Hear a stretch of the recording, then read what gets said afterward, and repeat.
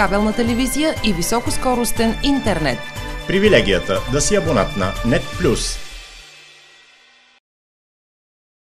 Полицаи от Петрич задържаха два автомобила с неистински регистрационни номера. Проверката е извършена вчера след обед в местността Бучилото, землището на село Мичиново. Полицейски патрул спира за проверка лек автомобил Volkswagen Polo, управляван от 42 годишен водач от Петрич и лек автомобил Opel с 60 годишен водач също от град Петрич. При извършената на място проверка полицейските служители установяват, че автомобилите са с поставени регистрационни табели, издадени за други моторни превозни средства и са натоварени с дърва за огрев, за които не са представени необходимите документи за добив. Водачите са задържани с заповед за задържане до 24 часа.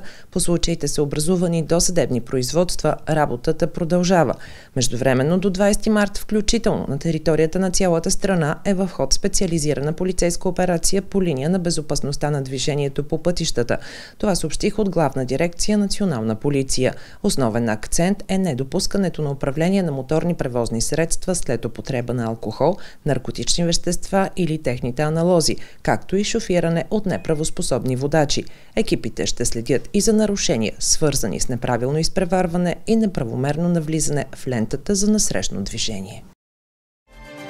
Кабелна телевизия и високоскоростен интернет. Привилегията да си абонат на NET+.